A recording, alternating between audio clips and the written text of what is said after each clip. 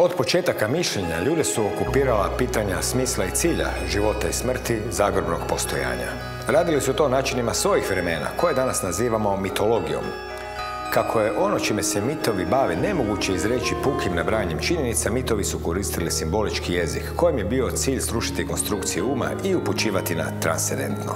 Već su prve civilizacije imale svoje mitove na tu temu, a jedan od najpoznatijih drevnih tekstova jest Egipatska knjiga mrtvih. Stari su Egipćani iskazivali nevjerojatan interes za nastanak života i za smrt i sudbinu duše.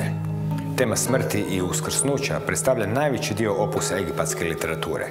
Ne samo da je njihova mitologija posvećena smrti, čini se da je smrt bila i pokretač te mitologije. U mitologiju egipatske knjige mrtvih zašao je u svojoj istoimenoj knjizi egiptolog Igor Uranić. Tu ćemo knjigu otvoriti i ovdje, na rubu znanosti.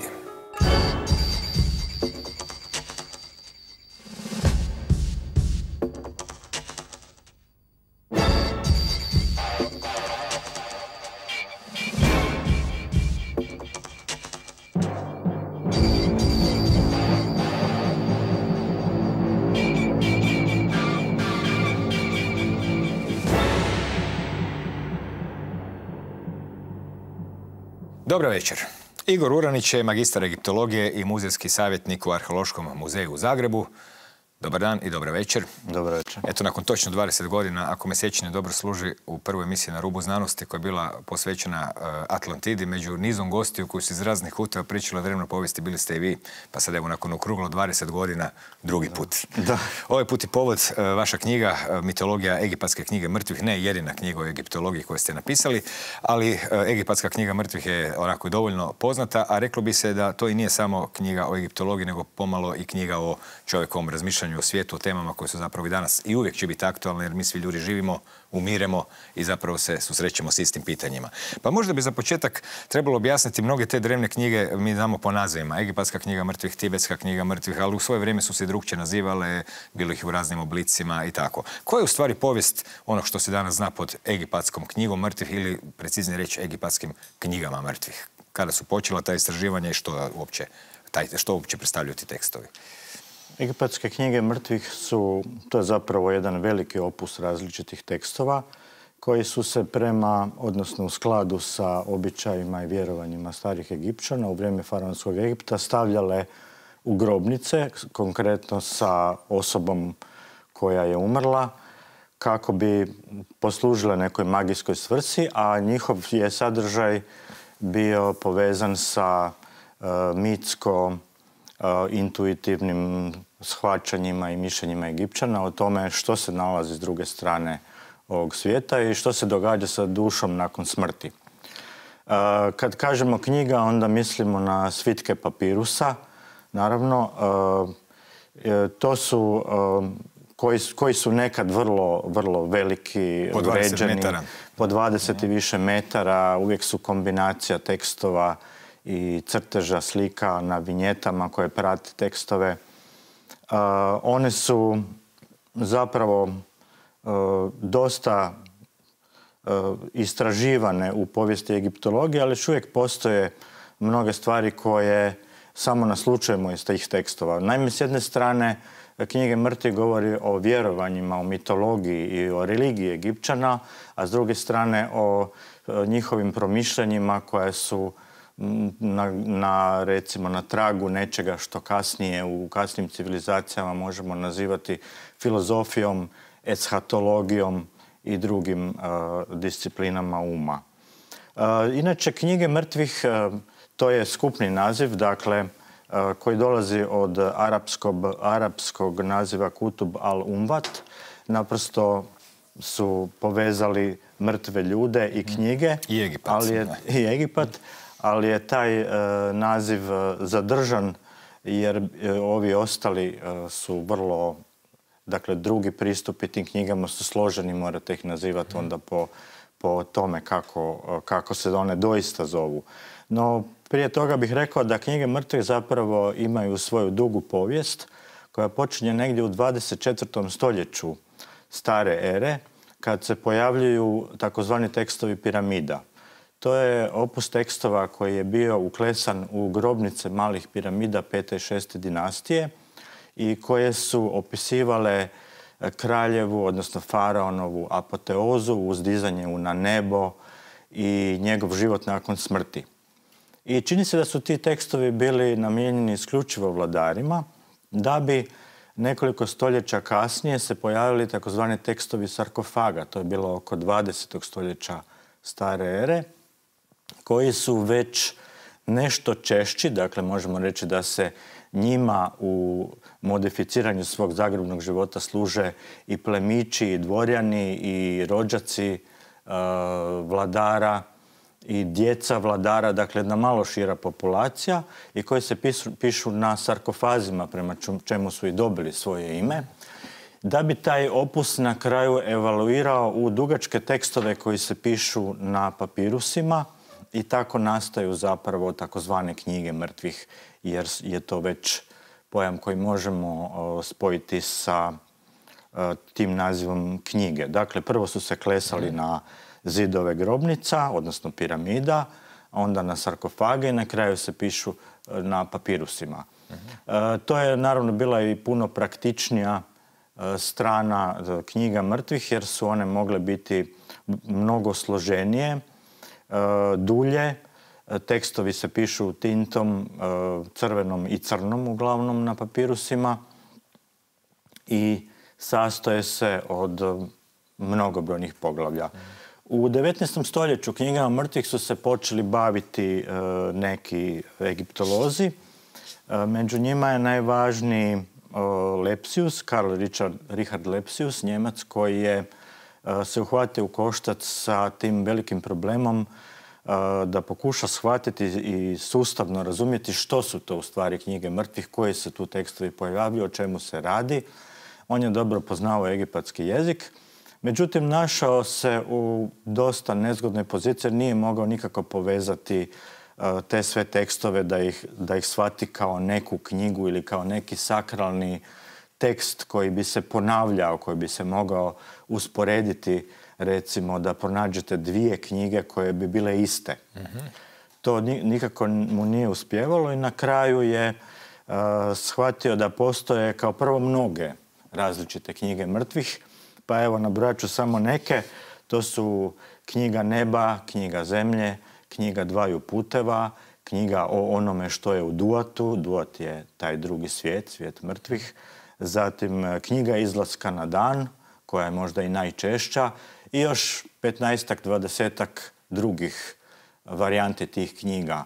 Ali unutar tih varijanti se i dalje moglo kombinirati. Na primjer, ako je neka osoba za sebe ili za nekog, e, neku blisku osobu koja je umrla, htjela napisati knjigu mrtvih, onda je mogla izabrati jedan dio tog opusa, a Lepsius i njegov nasljednik Andrina Vil, švicarac, ustanovili su da ukupno postoje 194 moguća poglavlja u knjigama mrtvih. To je bilo vrlo lako prepoznati jer su e, naslove poglavlja uvijek pisali crvenom tintom, a sama poglavlja crnom tintom. I onda su oni vrlo lako mogli razlikovati kad počinje nešto novo, neki novi dio knjige. I od tih 194 e, poglavlja, onaj tko je sastavljao pojedinu knjigu mogao je naprosto izabrati 5, 10 ili 100 poglavlja koja će staviti u svoju knjigu, pa čak i redoslijed se tu mijenja i na taj način dolazimo do jednog jako kompliciranog i e, opusa koji može biti, e, dakle imati vrlo, vrlo različite kombinacije. Ali prepoznali su poglavlja, Lepsius i Navil su uspjeli ustanoviti da postoje 194 poglavlja i da su neka poglavlja gotovo ista, pa onda se nekad govori o A i B varijantama mhm. nekog poglavlja, ali iz tog opusa se dakle uvijek birala ta knjiga mrtvih. Uh, Lepsius je taj, e, što je bitno sad za samu egiptologiju, on je taj sustav složio zahvaljujući jednom papirusu koji je smatrao idealnom knjigom mrtvih, koji je pronašao u Torinskom muzeu Egizio od stanovitog Jufanha iz ptolemenskog razdoblja koji je po njegovom mišljenju imao kako se njemu činilo sva poglavlja mm moguća. Da, i to, taj sustav koji on koristio se i dan danas koristi, iako nije idealan, ali radi međunarodnog i ukupnog funkcioniranja i jednostavnije komunikacije u tom smislu u egiptologiji i dan danas koristimo taj sustav koji on do kojeg je on došao u 19. stoljeću. Mhm.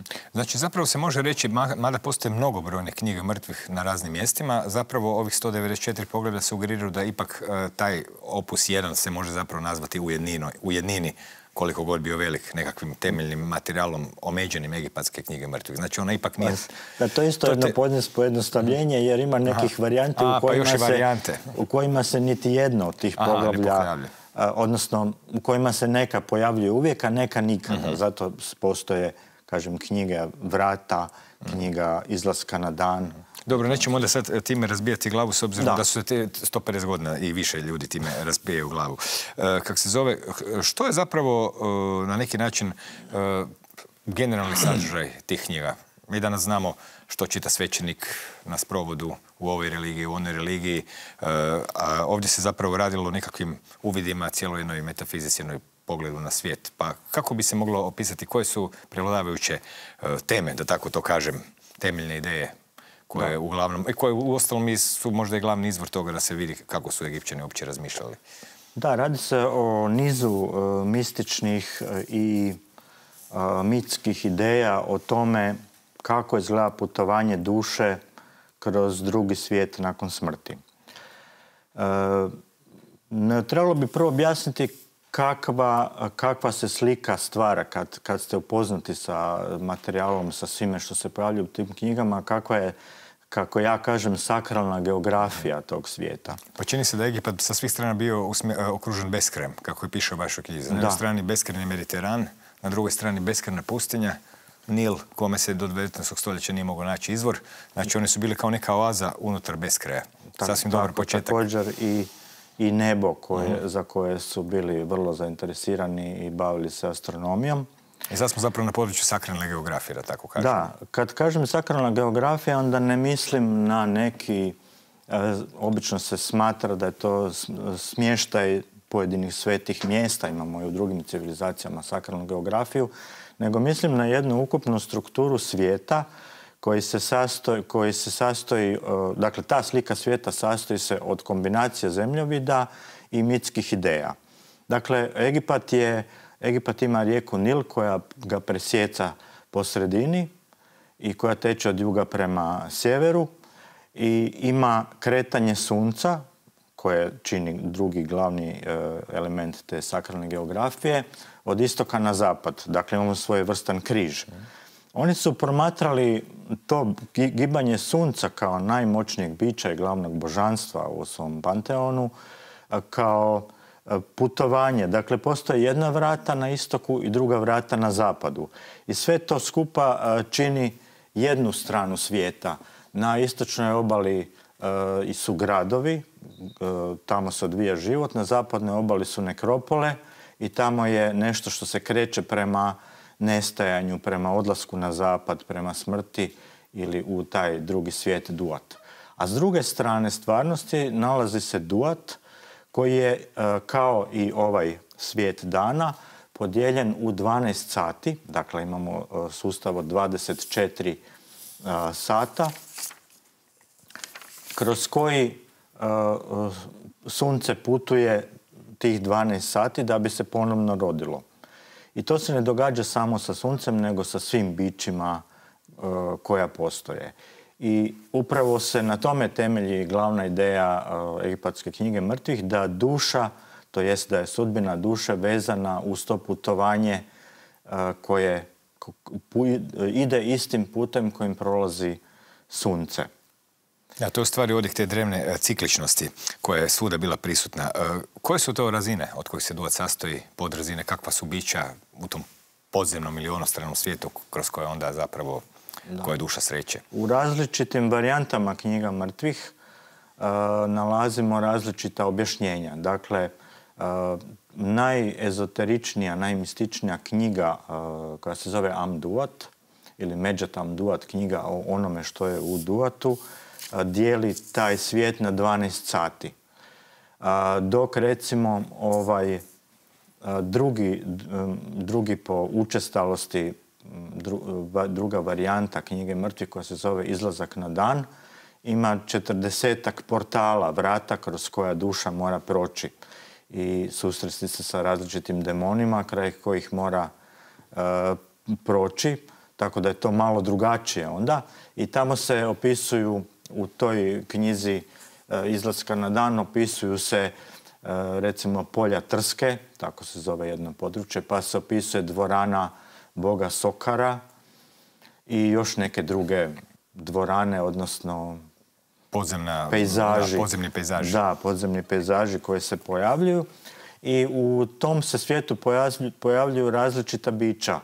Jedan dio božanstava koja su na strani Boga Sunca, koji prate putovanje e, Sunca na njegove barci kroz taj brod, koji ga štite, koji se na neki način bore za njega. I s druge strane demoni i zle sile koje su u tako tom jednom dualističkom svijetu e, protiv sunca. Dakle, tu je bog Apep kao glavni veliki neprijatelj, velika zmija koja pokušava e, uništiti sunce na, na tom putovanju kroz svijet mraka.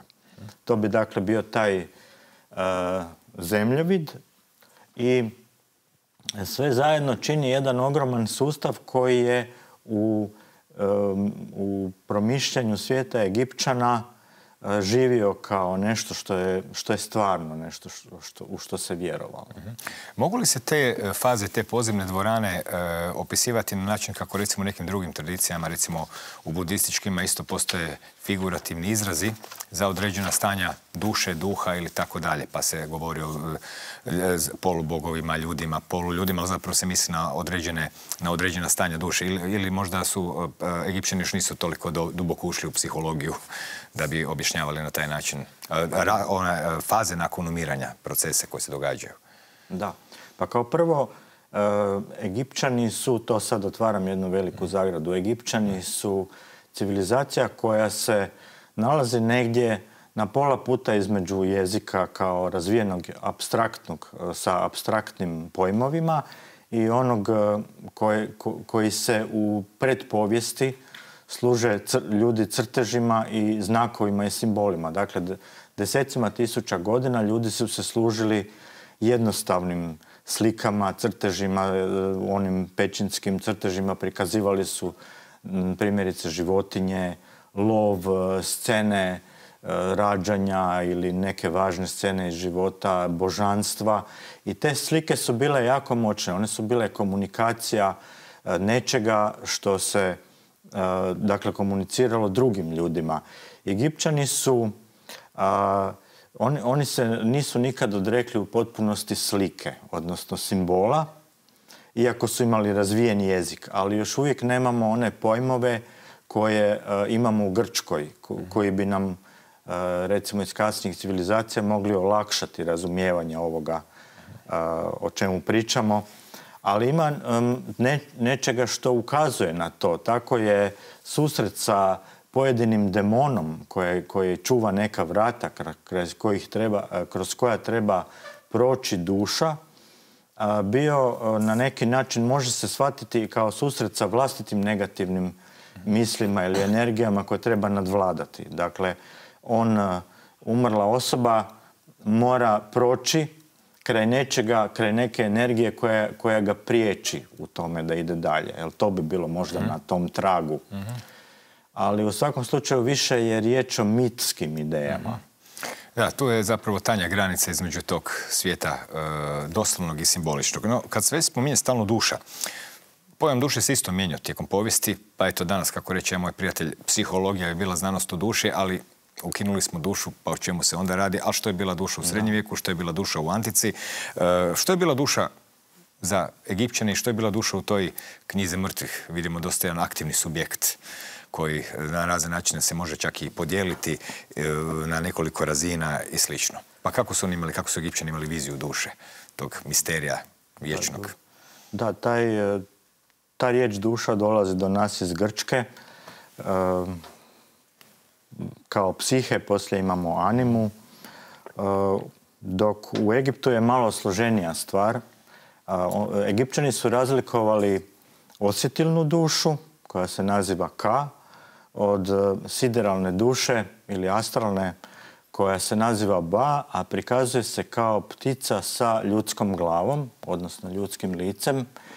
I ta, ta duša Ba je malo abstraktnija, ona je manje vezana za neke pogrebne običaje, iako se pojavljuje dosta u knjizi mrtvih, ona e, njezina je uloga da uzleti na nebo i da boravi u vječnosti negdje u, u području zvijezda stajačica. E, dok je duša K s druge strane predmet kulta. E, dakle, konkretan kult umrlih ljudi, dolazi se u grobnice i donose se darovi u, u obliku hrane, pića, cvijeća, parfema e, i ostvaruje se komunikacija sa tom dušom. Znači, rođaci, recimo neke umrle osobe, dolaze u grobnicu i zamišljaju da je ka e, tu i da se hrani sa kaom hrane.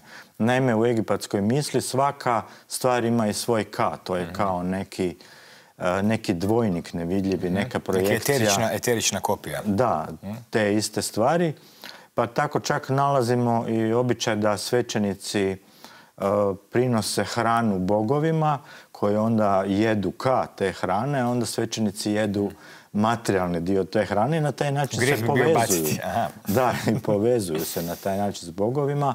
A u slučaju ljudskog ka imamo neki osjećaj da je riječ o mentalitetu, o, e, o emotivnoj i osjetilnoj strani osobe koja se tu negdje zadržava, a što je donekle i objektivno jer je tako bio zapamćen vjerojatno taj čovjek od drugih ljudi i ta neka energija te osobe je za njih i dalje živjela.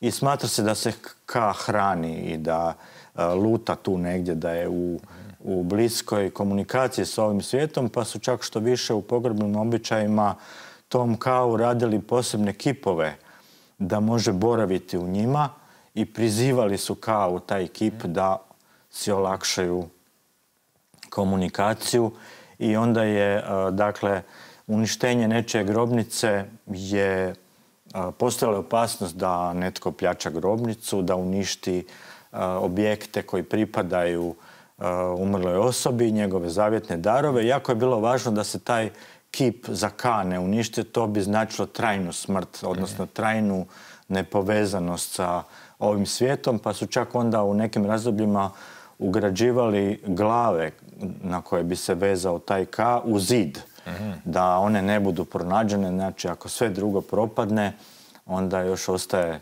ta glava. Pa čak je i ova poznata glava Nefertiti na tom tragu, dakle takvi portreti su bili zapravo uh, sjedište ili kako bismo to rekli, kontejner za, mm, za, ka. za ka. To malo odjekuje nekakvim onim trojstvom koji se kasnije nalazimo. Fizičko tijelo, duša, duh. Da. Često puta je ta podjela, onda bi bakao bio neka veza s nekim duhom, e, ovaj duša bi bila osobna tvoja, duhovna strana i slično. Može biti tako Točno. i ne ali ima još jedan element koji je bitan, a to je ah. To je treći element koji je povezan sa dušom. Međutim, nemamo, ne znamo točno kako bismo to nazvali, a da ne odemo u okultizam i ne postoji u egiptologiji točan prijevod. Točan prijevod toga je svjetleće tijelo. I sad, dakle, taj izraz ah stalno je povezan sa nekom pojavom svjetla. Ahuovi se pojavljuju kad sunce izlazi u zoru. Ahovi, ahuovi se pojavljuju kao neka bića duhovna u trenutku kad sunce zalazi.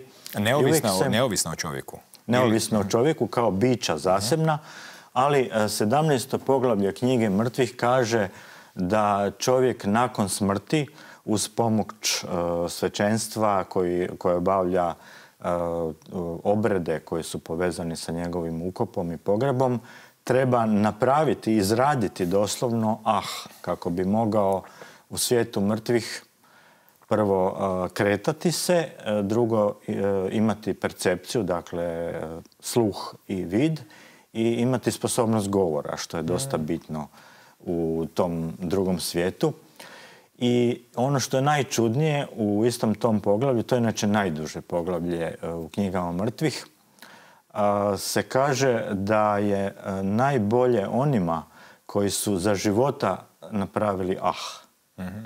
Dakle, stvorili to neko svjetleće tijelo zahvaljujući kome Zanimljivo je kako te stare priče nekako korespondiraju sa recimo 21. stoljećem gdje se ustanovilo da naša DNK isto luči svjetlost, da se svjetlost luči i unutar našeg mozga i slijepi ljudi recimo imaju snove. Pita se zapravo otkud uopće takve stvari idu. Tako da zapravo to svjetleće tijelo izgleda kao nekakvo zamjensko tijelo da čovjek može i dalje postojati i slično. Međutim, ono što je zanimljivo je sjedište duše. Mi danas kažemo, e, ne kažemo ja, nego kažemo ja tu se negdje usmjeravamo u srce, a Egipćani su mislili da je sjedište duše u srcu. Pa od tuda i uh, običaj vaganja srca. Čemu je to služilo i u kakvom je kontekstu bilo sa ka, sa ba, sa ah i sa onim što slijedi nakon smrti? Da, sjedište duše, točnije ove duše kao o kojem smo prije govorili, je u srcu. Ali je interesantno da je srce zapravo instrument mišljenja i ono je u tom vaganju, duše zapravo e, nešto iz čega se detektiraju dijela, odnosno pravednost ili nepravednost, e, moralnost i etičnost ili neetičnost osobe koja dolazi u 125. poglavlju na e, veliko suđenje. Mogli bismo to usporediti sa posljednjim sudom u kršćanstvu, jel, pred boga Ozirisa koji vlada nad kraljevstvom mrtvih i gdje se to srce stavlja na vagu sa čije druge strane je pero Božice mat, Božice pravde i istine i onda se ukoliko je ono uravnoteženo sa težinom toga pera e, umrli proglašava da je on maheru, što znači onaj čija je riječ istinita. I nakon toga on tek započinje svoje putovanje kroz svijet mrtvih, a ukoliko ne bi bio proglašen pravednikom, onda će ga pojesti demon uh, Amamat koji, je, koji ima oblik uh, nekoliko životinja, kombinacija naime krokodila, nilskog konja i leoparda, uh, što je dosta neobično, ali u svakom slučaju to je jedan strašan demon koji će požderati srce i tu onda prestaje mogućnost vječnog života za tu osobu.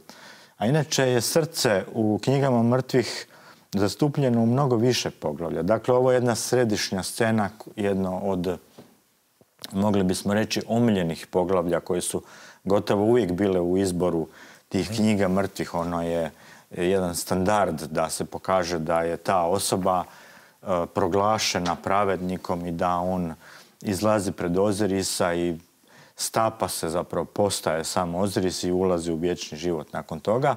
Ali postoji još desetak poglavlja koja služe zaštiti srca. Jer je srce stalno ugroženo od različitih demona koji se hrane srcima u, u tom svijetu mrtvih. Mm Drugim riječima, ovaj uh, vječni ciklus e, i proces obnavljanja nije baš tako siguran ako na vagi se odnos tog pera i srca baš e, ne pokažu. Zapravo čovjek tu više izlazi iz onog e, procesa koji se nekako doživljava kao cikličan. A sad tu zapravo se pojavljuju i druga neka metafizička pitanja koja su vezane uz pojmove.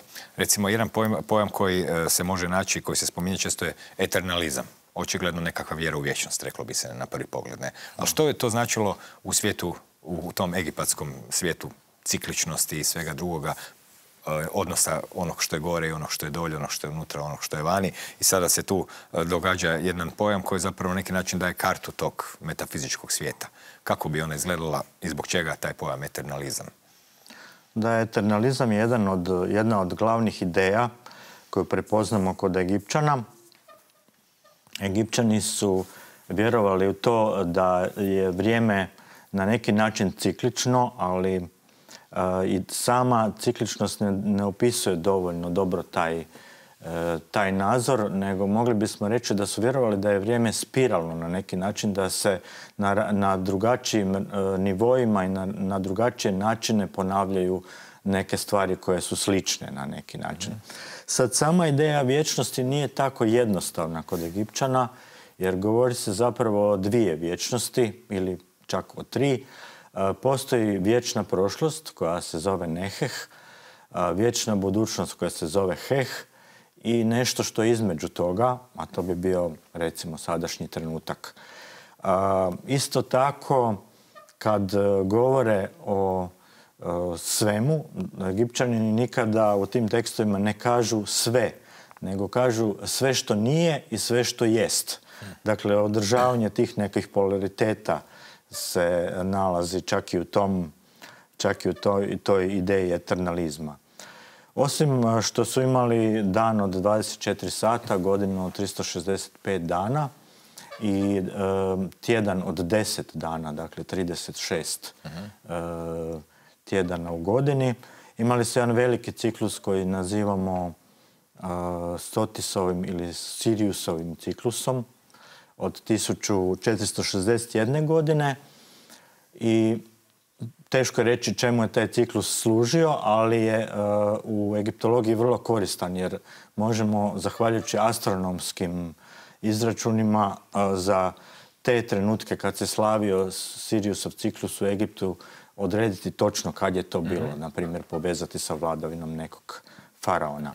No što se tiče samog eternalizma, on je vezan uz jedan drugi pojam metafizički u Egiptu, a to je esencijalizam. I upravo je knjiga mrtvih bazirana na toj ideji esencijalizma. Ona se naime bazira na tome da bića prolaze kroz trajnu promjenu, ali unutar njih postoji esencija koja opstaje unatoč svemu tome. I to se odnosi na sva bića u tom kozmosu starih Egipćana, pa čak i na najviše biće koje je sunce, pa tako sunce tijekom dana stalno mijenja svoje oblike. Ona se ujutro simbolizira sa skarabejem i zove se Hepri, zatim se u podne zove Rahor Ahti, što znači Horus nad dvama horizontima. Onda se pretvara u Atuma, pa u Amona. Amon je onaj koji je skriven, to znači skriveno sunce, sunce koje je sa druge strane stvarnosti. Pa također se pretvara i u Atona, i u jednom trenutku u tom donjem svijetu dok putuje barkom kroz Duat, sunce izgleda kao čovjek sa glavom ovna dok, je u, dok se nalazi u zenitu s druge strane izgleda kao prikazuje se u obliku sokola sa zlatnim solarnim diskom na glavi i tako dalje. Dakle, trajne su transformacije. A šta je ta esencija? Znači, e, esencija, ako sam dobro shvatio, Egipćani su smatrali da je ta esencija svjetlost. Upravo doslovce. Svjetlost u, u, ovom svijetu je sunčeva svjetlost, a u drugom svijetu unutrašnje svjetlo, ono što nikad ne nestaje. Mene to asocira na ideju energije koja se unutar, kao što fizika kaže, unutar zatvorenog sustava nikad ne nestaje, već se samo pretvara iz jedne kvalitete u drugu. Tako e, u Egipćanima, za razliku od nekih drugih e, naroda i vjerovanja i sustava mišljenja, postoji jedan e, naš dio koji je, ili dio svih bića koji je najbliže tome kako se zamišlja svjetlost koji nikad ne nestaje. I onda nalazimo u različitim prikazima, u hramovima zapravo štovanje svjetlosti kao nečega što je najsvetije.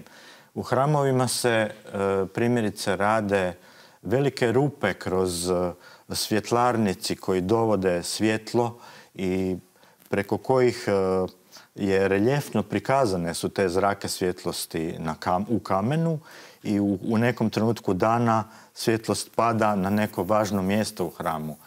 Na primjer na kip božanstva ili na neko posebno mjesto na koje je trebalo stati i tome slično. E, također e, služili su se obojenim staklima da bi se taj E, efekt e, toj hipetralne rasvjete koja pada na sredinu hrama dok hodate između golemih stupova, slijeva točno na jedno mjesto. E, iznosili su kipove božanstava na krovove hramova da bi se na određeni datum u godini koji se povezuje sa rođenjem tog božanstva da bi prva zraka sunca u zoru pala na taj kip. Na taj način je taj kip bio oživljen. To je jedna od karakteristika egipatske magije, jedno od umjeća koje, koje spominju u svojim knjigama neoplatonici kasnije, da su Egipćani oživljavali kipove. Oživljavali su ih uz pomoć e, svjetla, dakle, sunčevog svjetla. Na koji način e, zamišljaju Egipćani nastanak ljudi? Znači, nastanak svijeta ljudi, e, najpoznatiji pojam je inače Zep Tepi, ono nekakvo zlatno vrijeme od kojem se ne zna puno, tamo je neko bio nekad davno, ali e, ako baš se vratimo na ovaj sam početak ljudi, kako u ovakvom mitskom simboličkom sustavu zapravo se predočava nastanak ljudi? Da. Da, to je upravo ta veza sa, sa samim suncem i sa svjetlom. Naime, ljudi su nastali kao suze koje su iscurile iz raova oka. I to se vidi i u, na zanimljiv način i u hieroglifima, u etimologiji. E, glagol remeć koji znači plakati i e, remeć su ljudi, to jest narod. Isto tako. Dakle, u svakom, to nam direktno zapravo govori da je u svakom čovjeku sačuvan jedan dio te esencije koje dolazi od samog sunca. A što se tiče e, e, raznih simbola u prirodi, pitanje nastanka svemira i slično, kako je tu nekakva kozmologija, kozmogonija e, koja se može širati iz tih egipatskih knjiga mrtvih, šta je govorila o svemiru kao takvom? Pa egipatske knjige mrtvih ne bave se nastankom svijeta, iako imamo mnogo mitova na tu tematiku ali bogovi koji dolaze iz e, kozmogeneze su upravo oni u kojima se odvija cijela ta drama putovanja. Na primjer, Božica Nut, koja je nebo, je zapravo taj veliki krug koji smo pokušali, e, koji sam malo prije pokušao prikazati kao e, dnevna polutka i noćna polutka i jedno i drugo je zapravo Božica Nut koja se nekako kreće u krug i kaže, e, kažu mitovi ona ujutro proguta zvijezde i nebeska tijela, a u, u zoru ih ponovno rađa. Ili drugim riječima, ako gledamo njih kako se kreću, onda oni putuju kroz Božicu Nut. Također, ovi bogovi koji sudjeluju u nastanku same sudbine čovjeka kao što je Oziris su zadnja generacija bogova u kozmogenezi koja je izravno povezana sa čovjekom sudbinom. Oziris je prvi koji je u, prema egipatskoj mitologiji e, bio mumificiran. Dakle, mumifikacija i pogrebni običaji se povezuju na sam mito Ozirisu. E, na koji način su Egipćani promatrali e, pitanje sudbine? Očigledno je da su smatrali svijet dosta zadanim mjestom u kojoj se čovjek mora nekako harmonizirati i spojiti. Sudbina je vrlo fatalistički svačena u Egiptu. Znači kako ti pao grah? Da. E, pa ima jedna zanimljiva priča o, ukletom princu za koju na papiru su koji nema svoj završetak.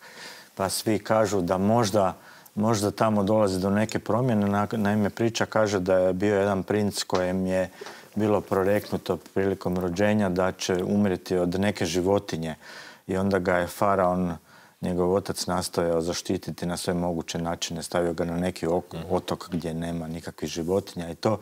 I sad, nažalost, nemamo kraj te priče i mnogi vjeruju da je možda princ uspio izbjeći tu sudbinu, ali uglavnom Egipćani ne vjeruju to da se sudbina može promijeniti.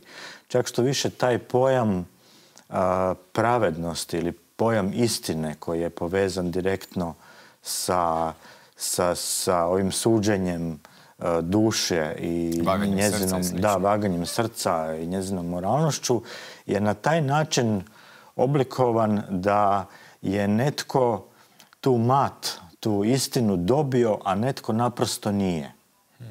Dakle, čovjek kao da je uvjetovan već rođenjem da neće moći biti etičan ili da neće moći svoju sudbinu u, usmjeriti u nekom, u nekom smjeru kojem bi vlastitom voljom recimo oblikovao. I mnoštvo je zapravo takvih priča koje nam govore u tom smjeru da je sudbina nešto što je nepromjenjivo. Ali ipak postoji nešto na što se može utjecati ako sam e, dobro shvatio ili ako ste vi ekstrahirali sve to dobro, to jest nekakva e, slobodna volja u smislu vlastitog odnosa prema sudbini, nekakvog usklađivanja, prihvaćanja, nešto u tom smislu, moglo bi se tako reći. Pa moglo bi se reći da se, da se e, pravedno, ispravno djelovanje smatra prihvaćanje sudbine, da osim toga, pored toga nema baš nekog velikog izbora. Da.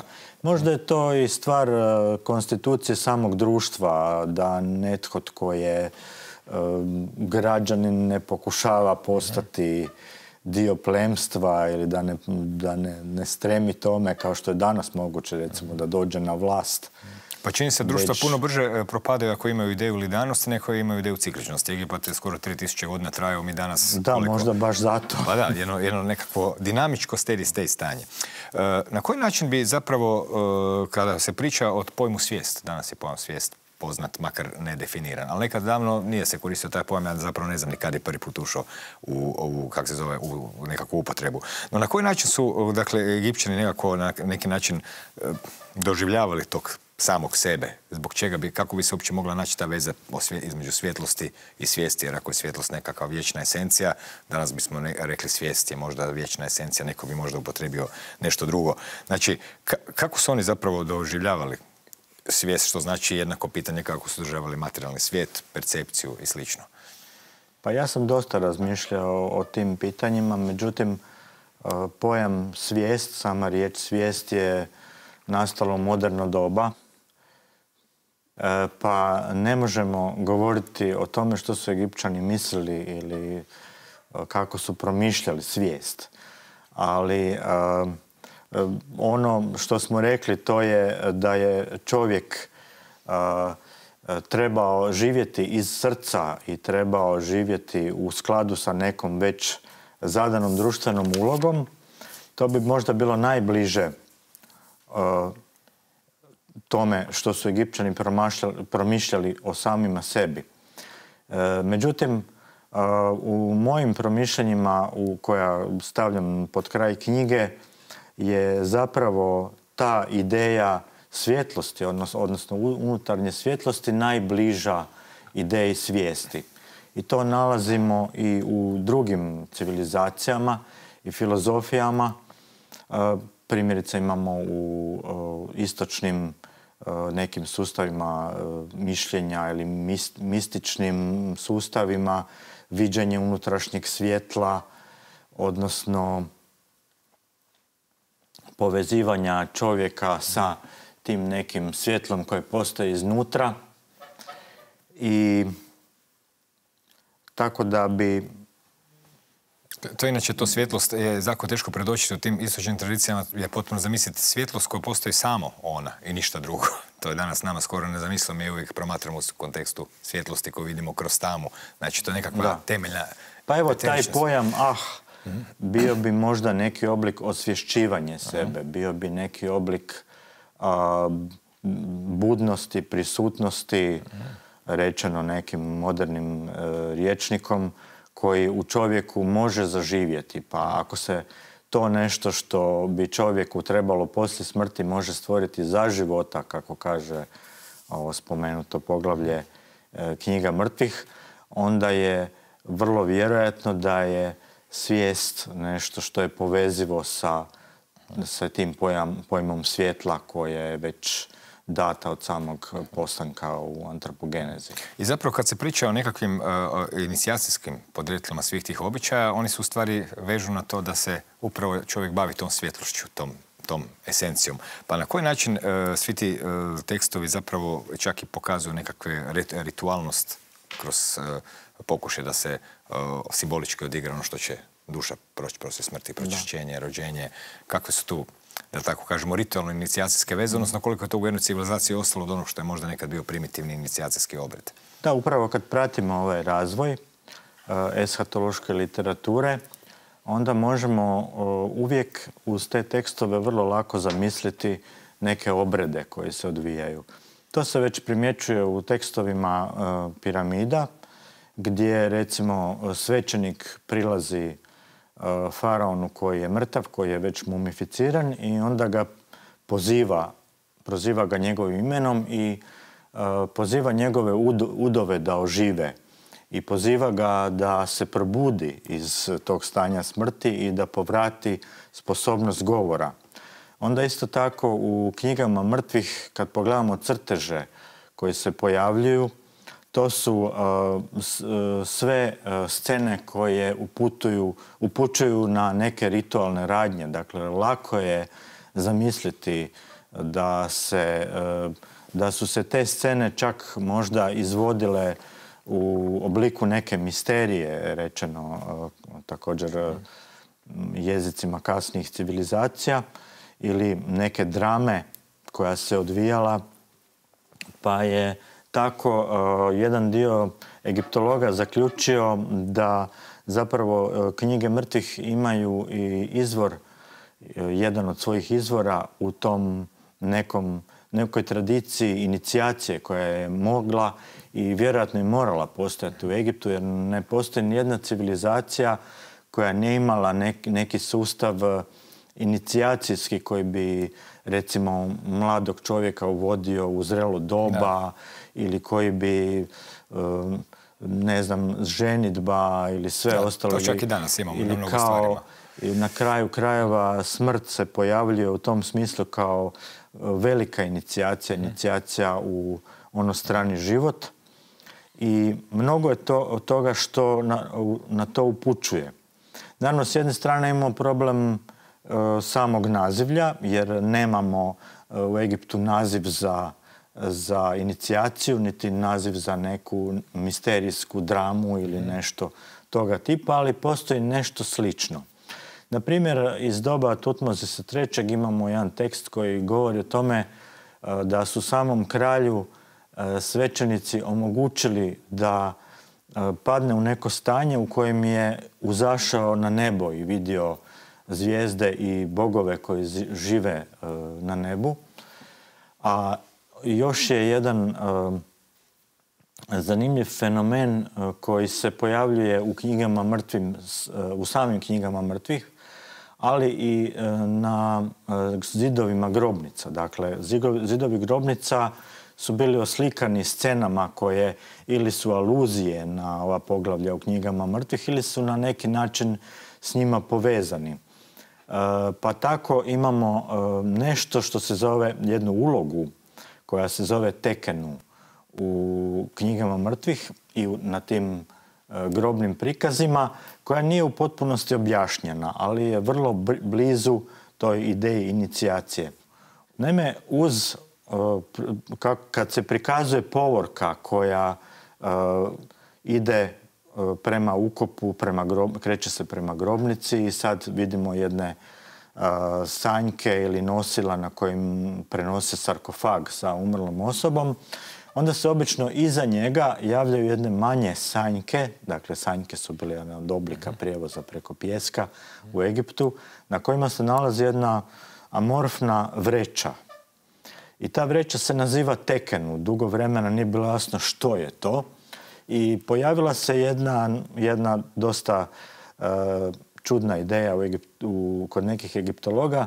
Naime, neki su smatrali da se prilikom mumifikacije, kad, se, kad su se iz čovjeka izvadili unutarnji organi, da se njegovo tijelo da se stavi konzervira, mhm. da se zapravo najveći dio tih organa, a to je cijeli probavni trakt, mhm. to su pluća, jetra i neki veliki organi, koji bi se inače stavljali u četiri kanopske vaze da budu u grobnici, ali taj cijeli sadržaj nije mogao stati u te četiri vaze, pa su možda samo simbolično odrezali komad na primjer jetra i mhm. stavili je u jednu od tih vaza, a sve ovo ostalo, ovaj ostatak, da bi stavili u tu vreću.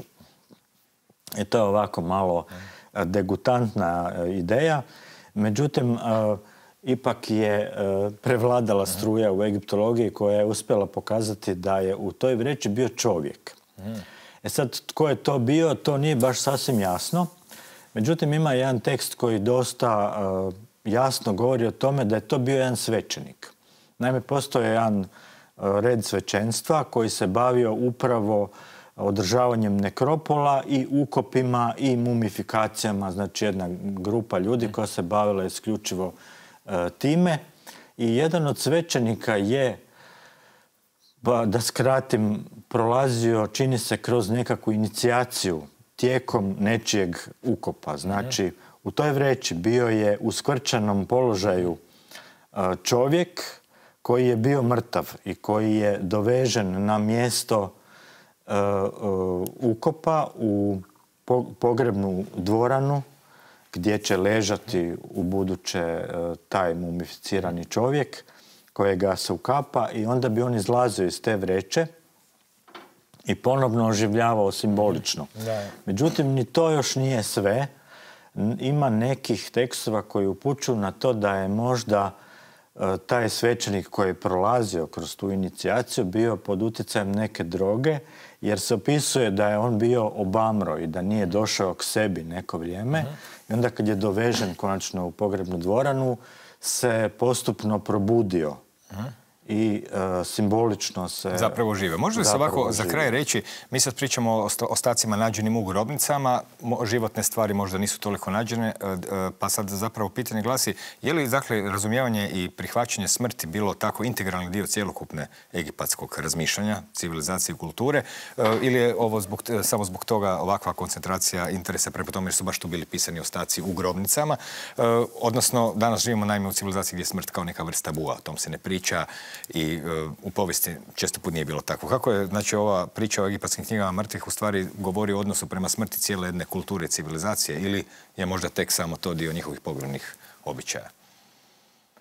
Pa ja mislim da je e, za Egipćane e, jedan dio traženja smisla života i životnog puta i, i cilja ljudskog života bio u tome da, eh, da je smrt zapravo nastavak, da je to neko ciklično gibanje svih bića, eh, nešto što daje smisao životu.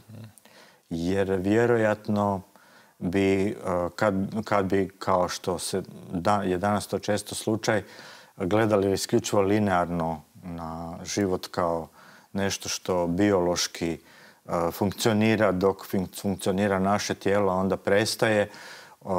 Osjećali besmisao, mhm. osjećali... Čemu sve to? Čemu sve to? Mhm. Naprosto to bi bio neki oblik nihilizma sa kojim su se oni nosili na takav mhm. način. Svaka civilizacija ima neke načine sa kojima se na, na taj način nosi zapravo sa, sa ljudskom sudbinom. I Mislim da nismo ni danas zapravo lišeni u potpunosti. Da, rekao bi da će svaki pojedinac zapravo to u sebi. Mislim da ima više ljudi koji su recimo vjernici danas nego što je to bilo u, u sredinom 20. stoljeća. Čak i ako nisu proklamirani svejedno dovoljno zapravo biti u toj materiji i nekako osjećati da se tu nalaze jedna vrata ko A kod Egipćana samo nalazimo taj, taj jedan specifičan čitav svijet koji su oni izgradili oko cikličkog rađanja i umiranja. Malo ga možemo reći osličili, simbolizirali, normirali i slično. Tako je, da. E, Igore, hvala vam na ovom e, iscrpnom i rekao bi vrlo uspješnom prenošenju e, jedne kompleksne materije koja u stvari se i ne može doslovce iščitati ako bi čovjek sad htio sam iščitati egipatske tekstove bez predznanja, tada mu tek da. nije bilo ništa jasno. To je kao tema kao i Egipat koja tone negdje da. u beskraj na svojim... Upravo tako. Ali eto, kako mi nismo beskrajno ograničeni, nego malo sa par minuta, e, bilo je to dovoljno, pa do neke sljedeće prilike ili srodne teme, doviđenja i hvala. Hvala. Hvala vama na pažnju oko starih Egipćana. Čovjek i svemir bili su usklađena cjelina, bila je to slika svijeta punog stvaralačke energije i sukoba sila konstrukcije, sila destrukcije, ali bilo je sve to dio jednog velikog vala harmonije i imaginacija Egipćanja u stvari ode neko diljenje prema prirodi i svemiru u cjelini. Čovjekovo mjesto pak u odnosu na makrosvijet je relativno skromno, život je obilježen zadanom sudbinom, ali nije to tako baš crno, zato ima i slobodne volje koja treba biti usmjerena na usklađenost s općim zakonom harmonije. A kad znamo da je svijet oko nas u harmoniji, a i mi s njime, e, tek onda se doista možemo poželjeti lá com.